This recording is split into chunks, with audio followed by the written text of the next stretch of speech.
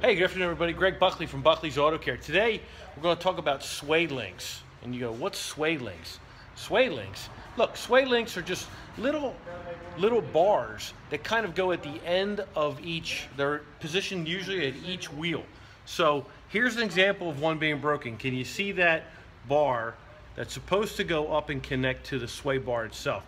So this is a link connected to the lower control arm, goes through the control arm and up and grabs that sway bar right there. And you can see how thick that sway bar and of course the bushings which are right here as well. All that helps to stabilize your front end so that when you're going like this steering wise, it kind of like flattens it out, makes it nice and even so you don't roll this way or roll that way. Like roll this way, roll that way. I don't want to get you sick or nothing like that or like you're on a rocking boat, right? All right, nonetheless. Hey, listen, they're both they're both broken here.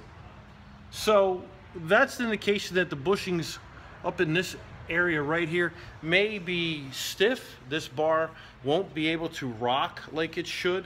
Everything in the suspension is supposed to have a little bit of movement to it. Not a lot of play, mind you, but just a little bit of movement, right? It's got to absorb, it's got to go back and forth. So naturally, pressure is going to push the vehicle one way or the other. The, the purpose of these is actually to control that swaying of back and forth. And a lot of people aren't aware of it.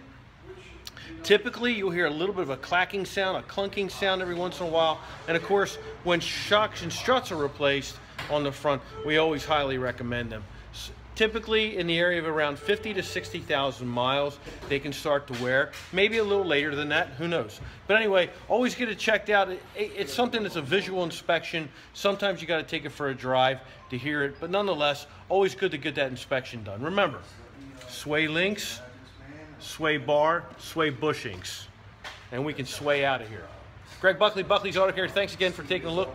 I appreciate it. We'll talk to you soon. See you.